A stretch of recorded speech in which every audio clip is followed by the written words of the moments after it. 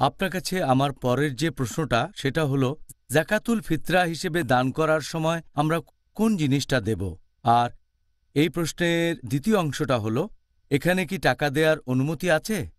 আপনি যদি বলেন, জাকাতুল ফিতরা দেওয়ার ব্যাপারে এটা দিতে হবে কোনো খাবার হিসেবে, হতে পারে সেটা খেজুর, হতে পারে বার্লি, হতে পারে গম, হতে পারে চাউল, হতে পারে কিশমিশ অথবা জব এমন কিছু যেটা প্রধান খাদ্য। সেই দেশ অথবা সেই শহরে যেটা প্রধান খাবার, গম হলে গম, চাউল হলে চাউল দেবেন, যদি খেজুর হয় খেজুর দেবেন। এ ব্যাপারে সবাই একমত যে এটা দিতে হবে খাবার হিসেবে। ভালো হয় যদি দিতে পারেন শস্যকণা হিসেবে, যেমন গম, চাউল ইত্যাদি। আমাদের প্রিয় নবী মোহাম্মদ সাল্লাম বলেছেন, এটা উল্লেখ আছে সহি বুখারিতে, খণ্ড নম্বর দুই, বুক অফ জাকাত হাদিস নাম্বার এক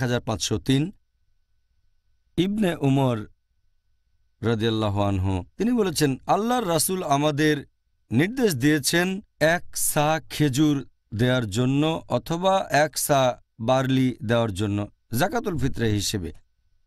সব মুসলিমই দেবে। দাস বা স্বাধীন, পুরুষ বা মহিলা, তরুণ বা বৃদ্ধ। আর এটা দিতে হবে ঈদুল ফিতরের নামাজের আগে।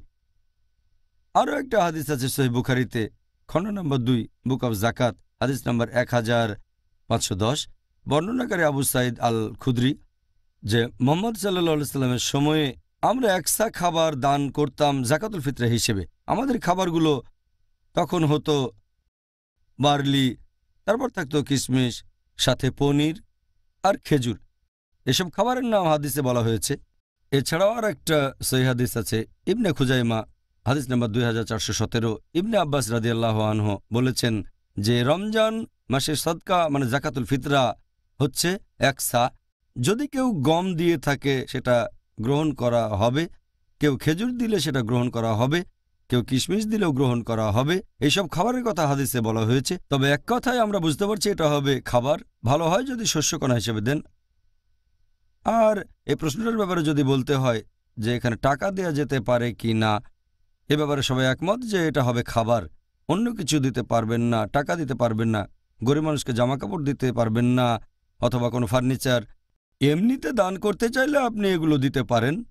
তবে যদি জাকাতুল ফিতরা হিসেবে দিতে চান, তাহলে খাবার হিসেবেই সেটা দিতে হবে।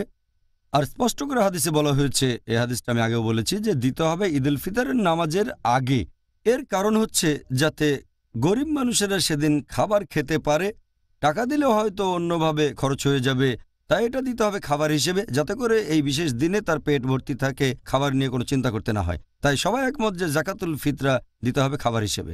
আপনি টাকা হিসেবে ফিতরা দিতে পারেন দায়িত্ববান কারও কাছে বা কোনো দাতব্য প্রতিষ্ঠানে, যারা বলে, এই টাকা দিয়ে আমরা খাবার কিনব আর গরিব আর অভাবগ্রস্তদের দেব। তবে যখন গরিব মানুষ পাবে, তখন সে পাবে খাবার হিসেবে। আমি জানি কিছু লোক বলেন, জাকাতুল ফিতরা হিসেবে গরিব মানুষকে টাকা দেয়া যায়, তবে এরকম কথা কোনো হাদিসেই বলা হয়নি। একটা মতামত দিচ্ছেন কোনো হাদিসের ভিত্তি ছাড়া, কোনো সুন্নার ভিত্তি ছাড়া, এটার অনুমতি নেই। আর একটা হাদিস আছে সহি বুখারিতে, খণ্ড নম্বর তিন, হাদিস নাম্বার দুই হাজার ছয়শো সাতানব্বই।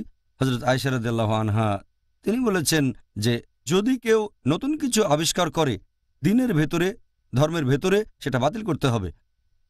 আরও একটা হাদিস আছে সহি মুসলিমে খণ্ড নম্বর তিন, হাদিস নাম্বার চার হাজার দুইশো সাতষট্টি। প্রিয়নবী মোহাম্মদ সাল্লাম বলেছেন, যদি কেউ ইসলাম ধর্মে নতুন কিছু নিয়ে আসে, সেটা বাতিল করতে হবে। তাহলে ধর্মে নতুন কিছু চালু করার কোনো অনুমতি নেই। জাকাতুল ফিতরা দিতে হবে খাবার হিসেবে, সেটাই হাদিসে বলা হয়েছে। টাকা অথবা অন্য কোনো মাধ্যমে দিলে হবে না। সাধারণ সদকা হিসেবে সেগুলো দিতে পারেন, তবে জাকাতুল ফিতরা দিতে হবে খাবার হিসেবে। অনেকে যুক্তি দেখায় যে আমাদের নবীর আমলে টাকা পয়সার খুব একটা প্রচলন ছিল না।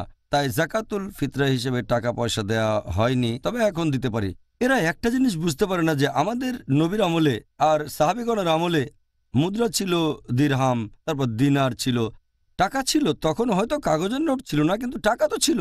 মানুষ তখনও মুদ্রা বিনিময় করত দিরহাম আর দিনার দিয়ে। তাই এই যুক্তিটা পুরোপুরি ভুল। সঠিক নিয়ম হচ্ছে এটা দিতে হবে শুধু খাবার হিসেবে, অন্য কিছু না। ঠিক আছে, ডক্টর জাকির। আপনার কাছে পরের প্রশ্ন, জাকাতুল ফিতরা নিয়ে, যে আমাদেরকে ঠিক কি পরিমাণ খাবার দান করতে হবে? আমাদের নবী মোহাম্মদ সাল্লাহ সাল্লামের সুন্নত অনুযায়ী। জাকাত আল ফিতরা হিসেবে দেয়া খাবারের পরিমাণের কথা যদি বলেন, দিতে হবে এক সা খাবার, সাধারণত। আর ইবনে খুজাইমার একটা হাদিস বলছে, হাদিস নাম্বার দুই হাজার চারশো সতেরো, যে ইবনে আব্বাস রাদিয়াল্লাহু আনহু বলেছেন যে, রমজান মাসের সাদকা মানে জাকাতুল ফিতরা হচ্ছে এক সা। আরেকটা হাদিস সহি বুখারিতে, খণ্ড নম্বর দুই, বুক অফ জাকাত হাদিস নম্বর এক হাজার পাঁচশো দশ। আমাদের প্রিয় নবী মোহাম্মদ সাল্লাহ সাল্লাম ওনার সময়ে জাকাত আল ফিতরা ছিল এক সা খাবার।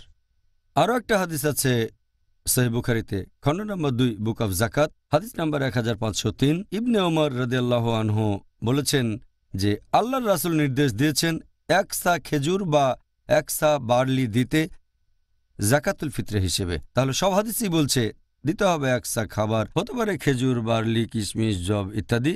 এছাড়া আরও একটা হাদিস আছে সুনান আবু দাউদে, খণ্ড নম্বর দুই, হাদিস নম্বর তিন হাজার তিনশো চৌত্রিশ। আমাদের প্রিয় নবী মোহাম্মদ সাল্লাম বলেছেন যে, এখানে ওজন হবে মক্কায় প্রচলিত ওজন অনুযায়ী, আর পরিমাণ হবে মদিনায় প্রচলিত পরিমাণ অনুযায়ী। কারণ একসা এক এক জায়গায় এক এক রকম তাই নবী একেবারে নির্দিষ্ট করে বলেছেন যে ওজন হবে মক্কার ওজন অনুযায়ী আর পরিমাণ মদিনার পরিমাণ অনুযায়ী হবে। তাহলে একসা বলতে তখন মদিনায় যেটা বোঝানো হতো সেটা মেনে চলবো। আমাদের নবীর আমলে মদিনায় একসা খাবার বলতে যেটা বোঝানো হতো সেটা হলো চার মুঠো। দুই হাত যদি এভাবে রাখেন আর এরকম চার মুঠো খাবার সমান একসা। এটাই সঠিক পরিমাণ। আর ওজনের ব্যাপারে বিশেষজ্ঞগণ বলেন হবে আনুমানিক তিন কেজি, আনুমানিক। তাহলে সদকা হচ্ছে তিন কেজি চাউল।